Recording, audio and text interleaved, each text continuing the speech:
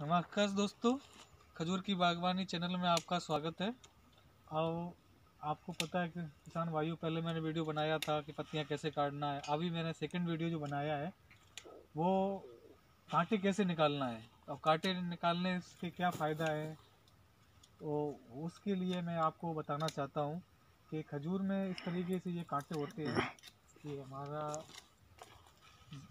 देखो, इस तरीके से ये कांटे होते हैं।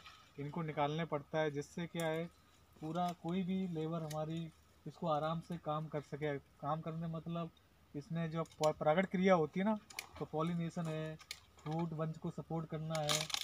तो जब हमारे इसमें स्पेयर या फूल निकलते हैं, उस टाइम कांटा हमको प्रॉब्लम करता है। हम इसमें काम नहीं कर सकते। तो अभी इनका सीज़न चल रहा है। इनका सीज़न नवंबर, दिसंबर तक कांटे कंप्लीट हो जाना चाहिए। इस तरीके से ये कांटे हैं, इनको निकाल देना चाहिए।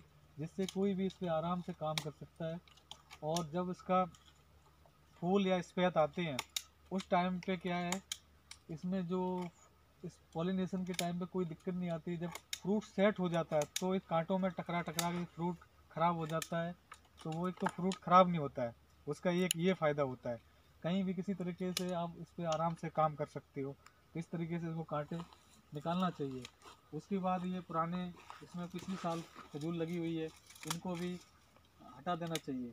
अभी देखिए बिल्कुल पास में कितनी सफ़ाई से काटे काटे जा रहे हैं। आप थोड़ा जूम करके दिखाएँ लोगों को।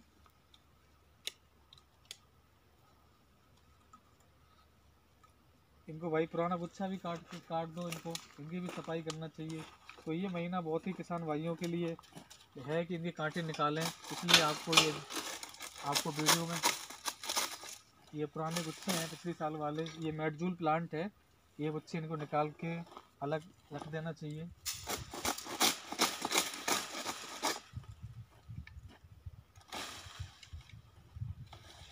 तो इस तरीके से काटे, किसान भाइयों निकालें, जिससे आपका फ्रूट ख़राब नहीं होगा और जो भी इसमें लेबर वगैरह काम करती है, उसका किसी प्रकार का नुकसान नहीं होता है। तो इसलिए हमारा वीडियो देखने के लिए हमारा चैनल को सब्सक्राइब करें और घंटी भी दबाएँ।